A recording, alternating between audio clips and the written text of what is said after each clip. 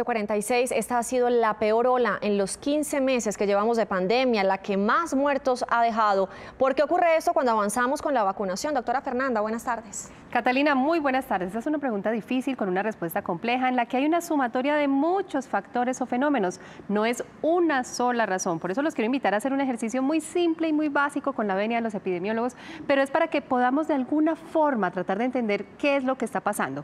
Miren, hasta hoy tenemos cerca de 4.200.000 casos confirmados oficialmente de COVID, de los cuales casi 4 millones son casos ya recuperados y 104.678 son fallecimientos. Digamos que esa cifra puede ser cuatro o cinco veces más alta porque hay muchos casos que no consultan, que fueron asintomáticos y que se escapan al rastreo, entre otras razones. Es decir, que si multiplicamos por cinco, la cifra real de contagios en Colombia sería de 20 millones de personas a las que ya les ha dado COVID en este más de un año de pandemia. A eso vamos a sumarle los que ya tienen el esquema completo de la vacuna. Según el Ministerio de Salud, se han aplicado poco más de 6 millones de segundas dosis. Eso quiere decir que tendríamos 26 millones de personas con algún tipo de inmunidad, ya sea natural porque les dio o inmunidad adquirida por la vacuna. Pero ojo, si somos 50 millones de habitantes, significaría que aún quedan 24 millones de susceptibles porque no les ha dado o porque no están vacunados. Entonces, el virus lo que tiene aquí es millones de potenciales víctimas y él no hace excepciones. Entonces, todavía hay millones de susceptibles y si a eso le sumamos las variantes que nos pueden generar nuevos contagios, que la gente ha relajado las medidas, que los que se tienen que aislar no lo estén haciendo, incluso hay variables como cambios del clima que influyen. Así, esto nos permite tener un panorama para entender qué es lo que está pasando.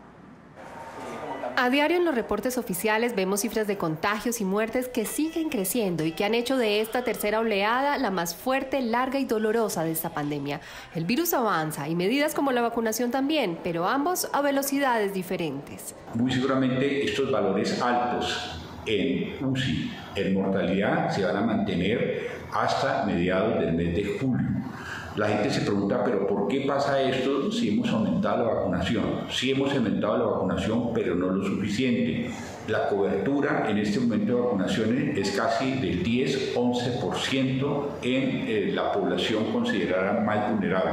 Por supuesto, ver la vacunación como la única salida es equivocado, porque aunque su impacto ha sido notable en muchos países, hay múltiples factores que llevan a que los contagios sigan disparados. Uno de los factores más importantes es posiblemente la dinámica misma de la epidemia, que implica un aumento y posterior disminución de la velocidad de ocurrencia de nuevos casos, que es lo que llamamos las olas epidémicas. Entonces, mientras subsistan en la población personas eh, susceptibles y personas infecciosas, el contacto entre estos grupos va a dar lugar a la aparición de nuevos casos. Es claro que aún quedan muchas personas susceptibles, ya sea porque no les ha dado COVID o porque no se han vacunado.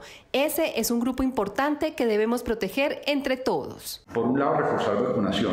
Segundo lado, reforzar todo el PRAS. Seguir haciendo pruebas en población selectiva haciendo cordones sanitarios y aislamientos selectivos. En eso también hemos fallado. Debemos estar identificando 4 o 10 contactos por caso, estamos identificando menos de dos.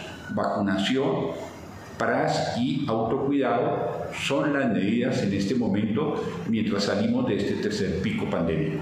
Y es que no podemos caer en falsas seguridades. El que haya recibido una dosis no se traduce en que pueda bajar la guardia, incluso ni siquiera si tiene el esquema completo. Por otro lado, que haya reactivación económica no quiere decir que esto se acabó. Al contrario, hay que extremar medidas porque aumenta la movilidad y por lo tanto el riesgo. Acciones con consecuencias en salud pública pueden aumentar o disminuir la altura de la ola, hacerla más rápida o más lenta, pero no van a desaparecer mágicamente los casos. Entonces, cabe preguntarse qué estamos haciendo para mitigar la intensidad de esta epidemia. Y la verdad es que eh, debido a la necesidad de reapertura económica, en este momento las restricciones sobre movilidad y comercio son mínimas. Eh, también las personas han relajado mucho las medidas de protección individual como el uso de tapabocas y el distanciamiento físico, no es posible en este momento eh, aumentar la disponibilidad de unidades de cuidados intensivos para la atención de las personas con enfermedad severa. Un ingrediente adicional a este complejo contexto es el de las nuevas variantes. Estos nuevos linajes virales aumentan de una manera significativa el riesgo de infecciones y es por esa razón que las personas que ya han sido contagiadas, si no se vacunan, tienden a reinfectarse por las nuevas variantes. Con esto en la ecuación, pues seguimos aumentando el número de contagios y también el número de muertes. Por eso es importantísimo hacer autocuidado. Esto no ha terminado por el hecho de que ya le dio COVID o de que se haya vacunado. Estamos en un proceso dinámico en el que todas las medidas suman y una no reemplaza a las demás. Al contrario, se complementan. Esto sigue requiriendo el compromiso de todos, del gobierno y las autoridades, entre otros, para encontrar y aislar a los enfermos y a sus contactos con todo lo que eso implica, de apoyo, por ejemplo, económico. También que sigan avanzando con la vacunación, pero además requiere del compromiso empresarial con los aforos, los horarios, la ventilación, el teletrabajo y, por supuesto, nuestro compromiso con las medidas. Vuelvo y les digo, esto no ha terminado, seguimos necesitando soluciones creativas para que todo el peso no recaiga solo en las clínicas y en los hospitales y en la vacunación. Me despido, feliz tarde, Ana Milena.